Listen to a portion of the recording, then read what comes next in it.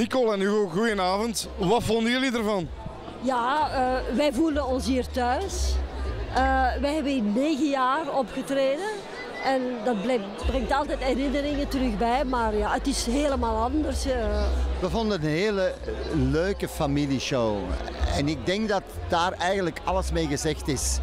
Uh, het houdt alles in wat, wat, wat de mens, als je naar Blankenbergen komt en naar het Wit Paard, dat hij zegt van ik ga naar het Wit Paard, ik ga mij amuseren. En ik denk dat dat de bedoeling geweest is van de avond en ze zijn daarin geslaagd. Een geslaagde avond voor jullie? Absoluut.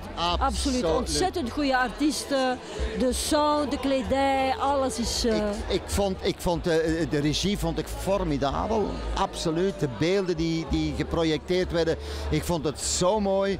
En zo nieuw ook. Uh, ja, eh, dit is een bewijs dat het witte paard niet is blijven staan. Dit, Visueel is het heel sterk, hè? Absoluut, absoluut. Zeer sterk, zeer sterk. Uh, het was een hele mooie avond en we hebben ons goed geamuseerd. En ik denk dat dat de bedoeling is van het wit paard. Waarom moeten mensen komen, Nicole? Wel, eerst en vooral om zich te ontspannen. En om te zien dat wij in België ook ongelooflijke internationale shows kunnen maken.